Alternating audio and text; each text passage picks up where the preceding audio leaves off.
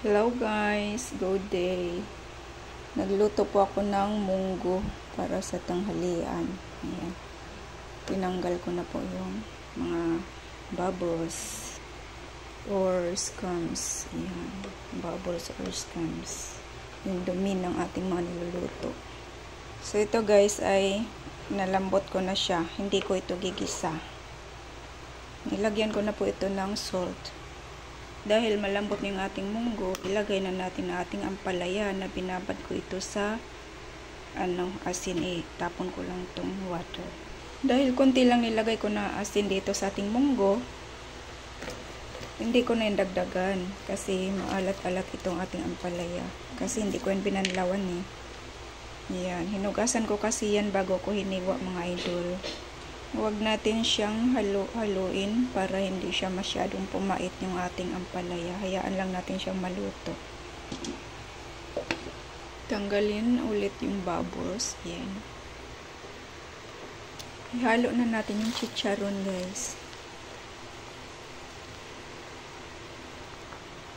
Ilagay na natin yung dahon ng ampalaya.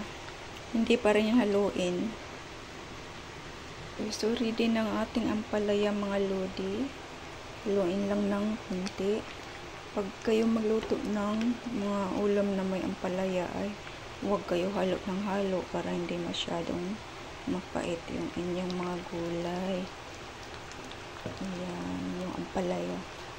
Kung mapait kasi siya ayun sa aking observation. Ayan. Or depende lang talaga yun sa klase ng ampalaya mga idol. Pero kadalasan kasi ng bawat pagluluto ko at iba't ibang klase ng ampalaya ay ganun talaga pag hinahalo masyado. Ang ganito po ako magluto talagang tinatanggal ng mga scums or bubbles. Kasi kung baga sa karne, ito yung nagpapalangsa. Marumi po ito eh. Ayan.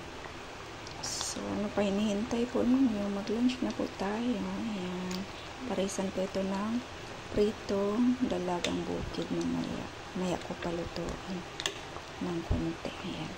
Salamat sa panonood.